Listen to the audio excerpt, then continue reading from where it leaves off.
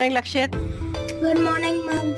Uh, today we have Lakshith Narayanan now attempting the addition of a string of 50 double digits which needs a lot of focus and the time duration that he chooses is 2.5 seconds.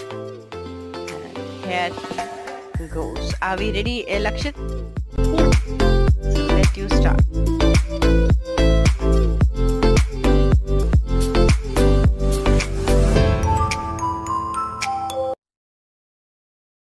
Your answer is 2687.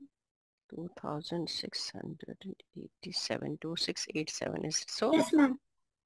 so let's compare oh wow Thank you.